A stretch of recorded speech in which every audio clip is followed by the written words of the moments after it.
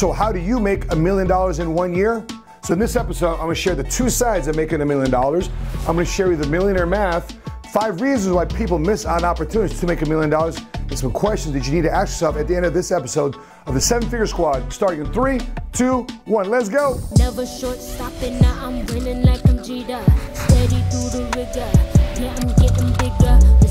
In them trenches, now I'm making seven figures like. What's cracking, everybody? Money Smart Guy Matt Sapaula here, hailing to you from Dallas, Texas.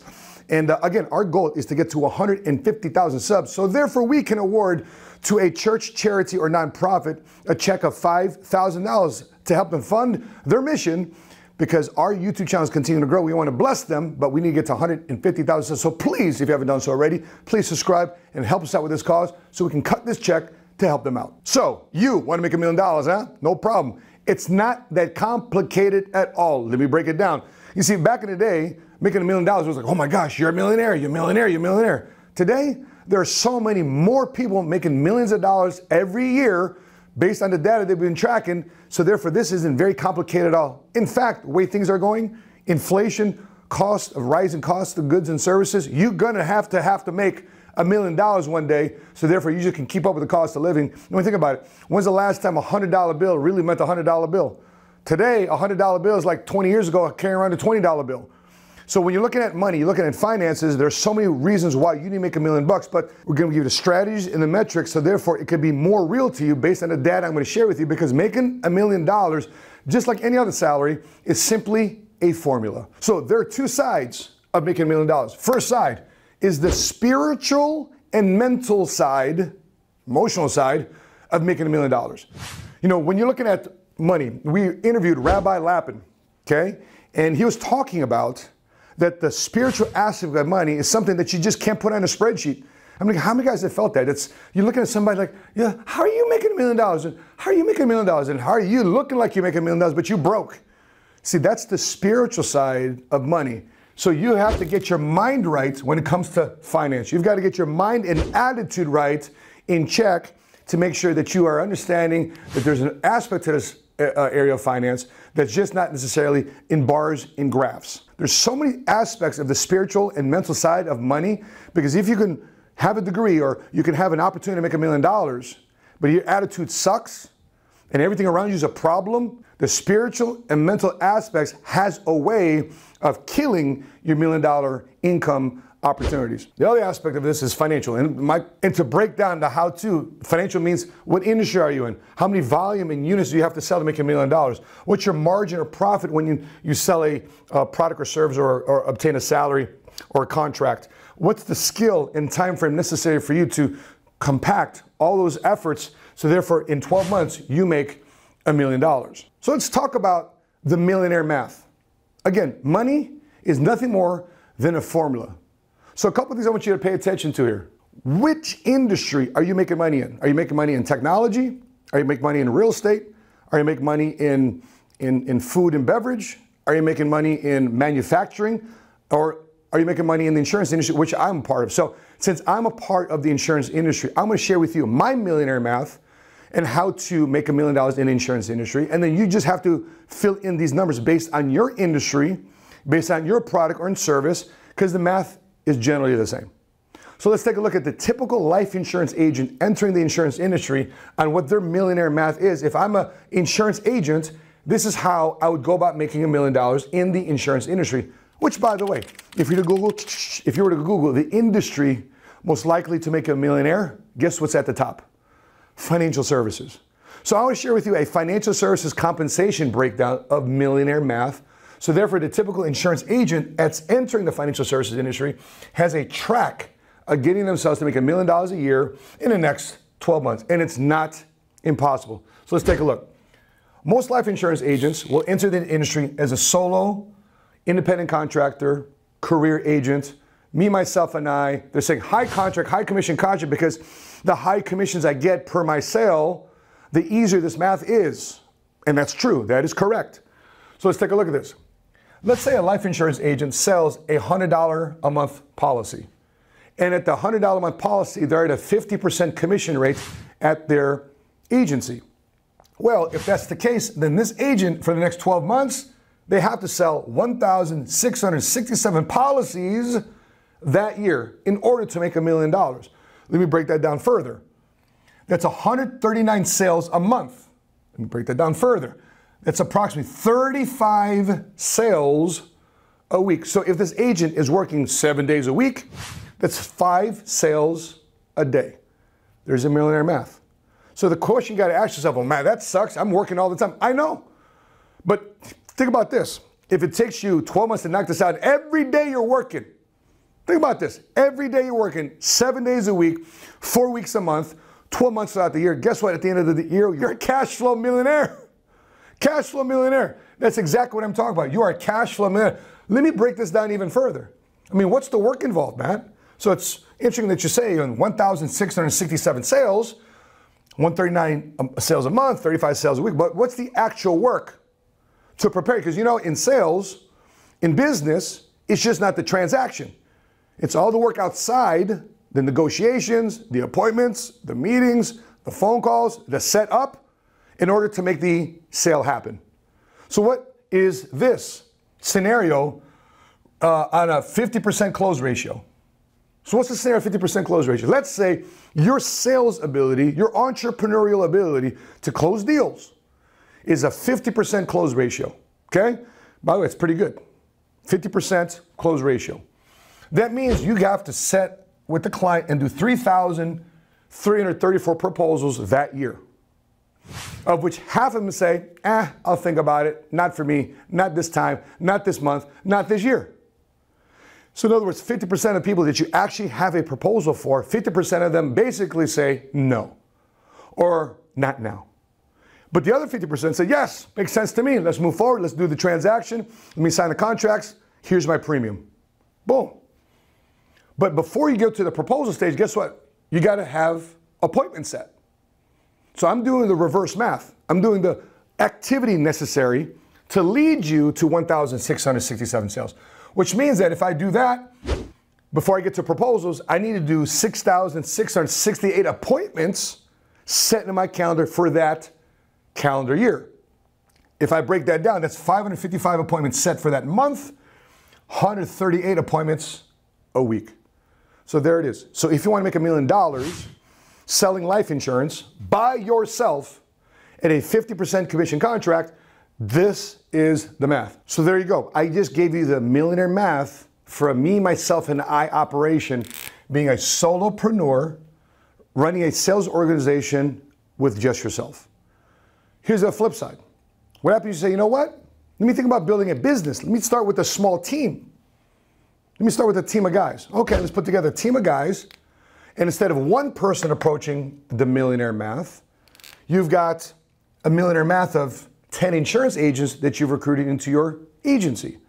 And when that agency manager leads a sales meeting on Monday morning, all right, let's go get them. Okay? These guys go out and they do sales. But now the sales manager, instead of individually selling like his counterpart was, this agency manager is now leading, coaching, teaching, and mentoring. So instead of making commissions by himself by having to be beholden to a transaction, which appears beholden to a commission, a sales manager now earns a spread.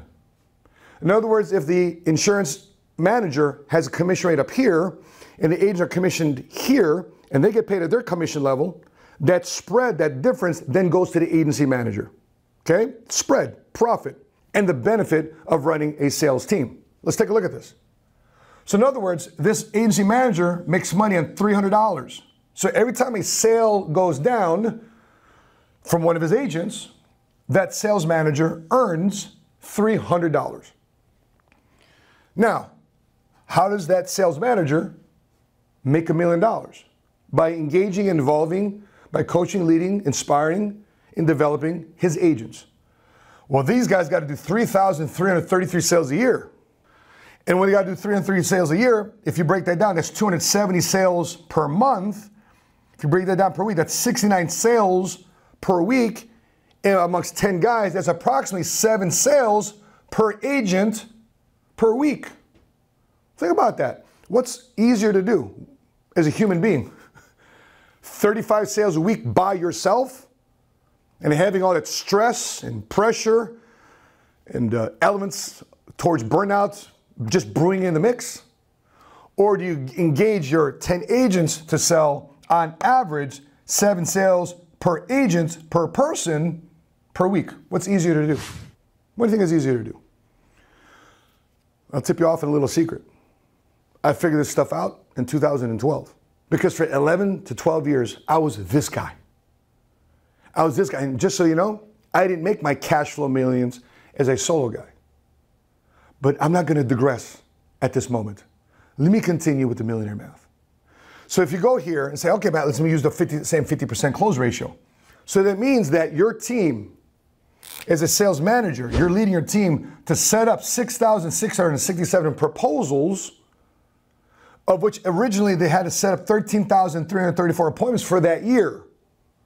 So in order to get to 667 proposals to get to 333,000 sales, you originally needed to set 13,334 appointments for that year. Let me break that down even further. That's 1,111 appointments for each month, which leads to 277 appointments per week set forth by your team of agents going out and doing their part collectively as an organization. And so here's reasons why people miss out on opportunities like this. Here's some reasons.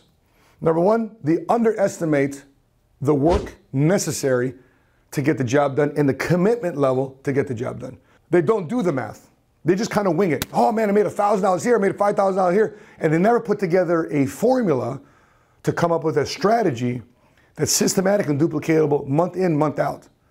When I was a solo guy trying to attempt these goals by myself, here's how my income will look. Boom, spike in income. Next month, drop. Then we work, work, work again, prospect, prospect, prospect, set up appointments, set up appointments, boom, spike in income, close deals, close deals, awesome, celebrate, next month drop.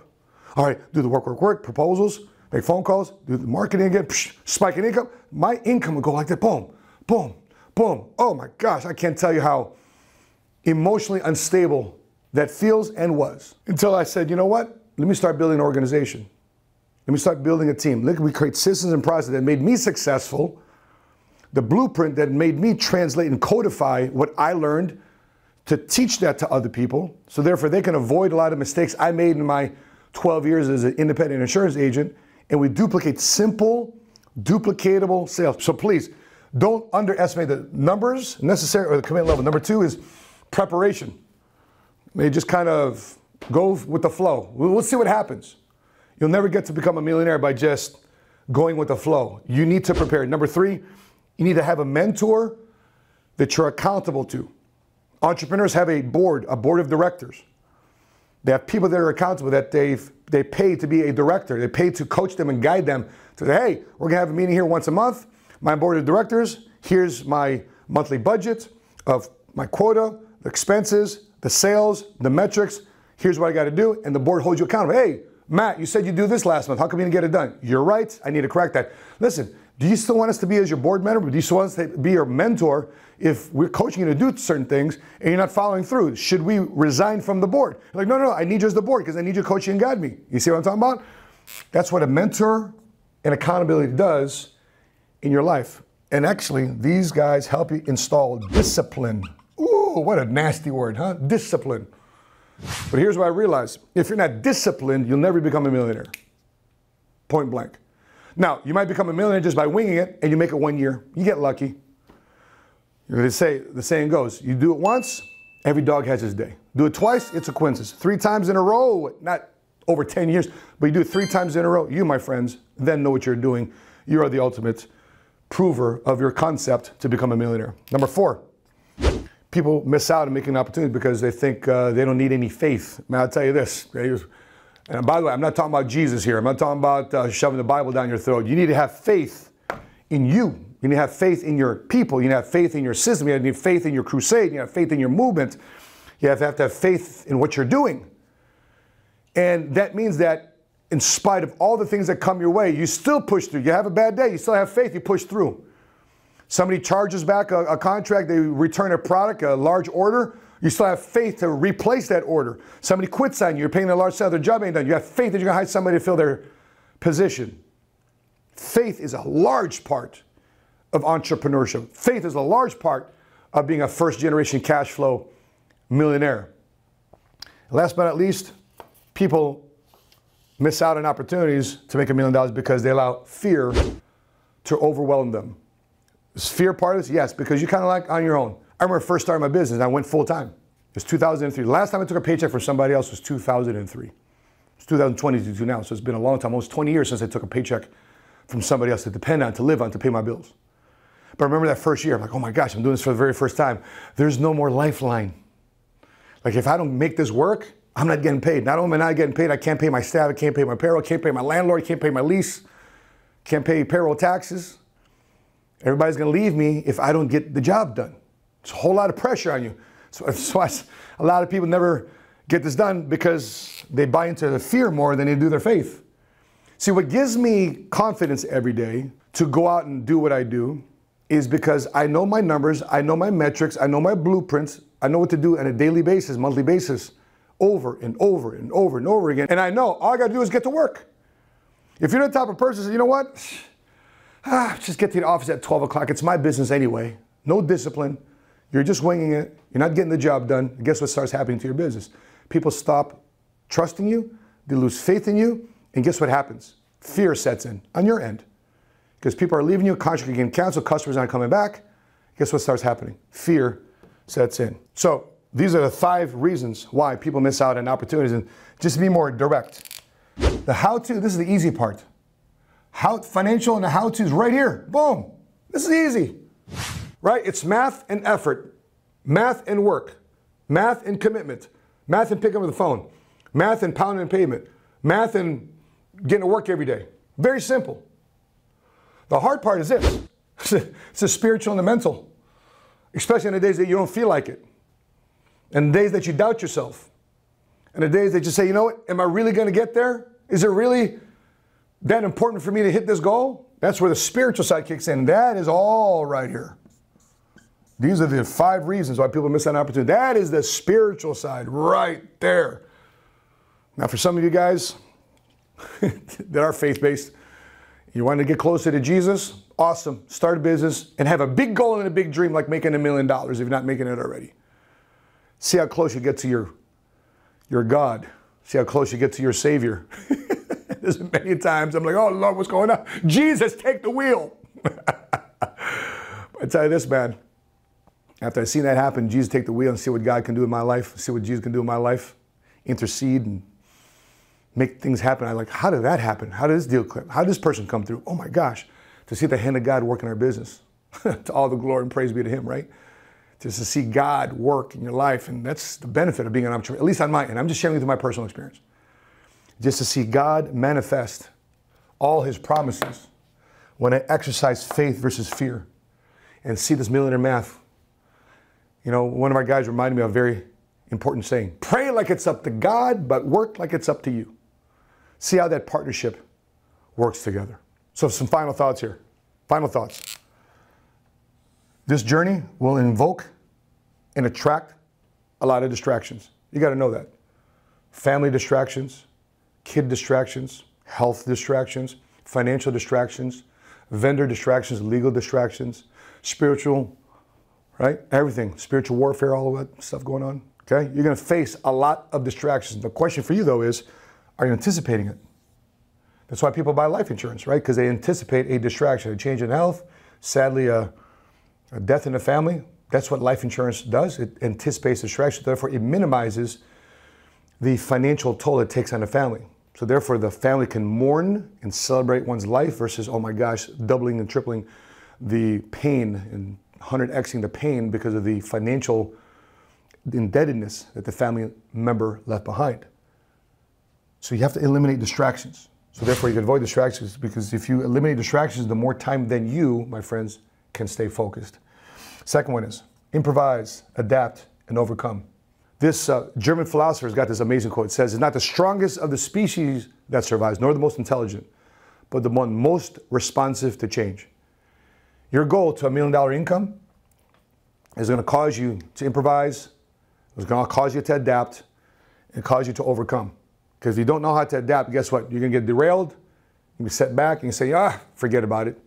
Next year, versus it could be this year. And last but not least, stay alert, stay alive, stay curious.